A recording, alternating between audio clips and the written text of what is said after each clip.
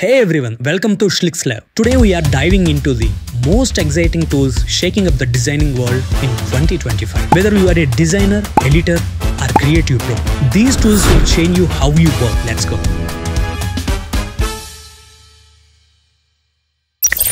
Let's start with Adobe. Their brand new AI agents are dropping at the Adobe Max event on April 24, 2025. The smart assistants can remove backgrounds, retouch, and even respond to your voice commands, all inside Photoshop and Premiere. Also, Adobe Firefly Bulk Create lets you edit up to 10,000 assets at once, whether it's banners, thumbnails, or product images. Game changer for teens.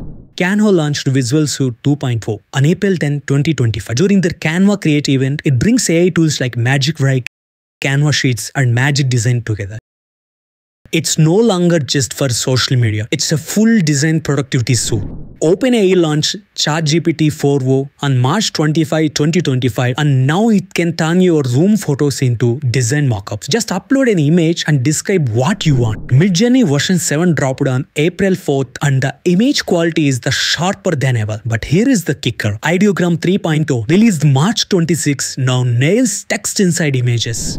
Figma's AI is now beta and rolling out across all paid plans by the end of April. It also suggests layouts, renames layers, build components just to focus on creativity. UXPin's is still in beta, but it already generates UI components from text from Stink, Add card with user profile and boom, it builds the layout. Runway released Gen 4 on March 31st, 2025. It's a theme for video creators. AI can now maintain the same style, lighting, and characters across the shots. These AI tools aren't just fast, they are revolutionary. Whether you are a designing, editing, or storytelling, 2025 is your playground. Which tool are you most excited to try? Comment below.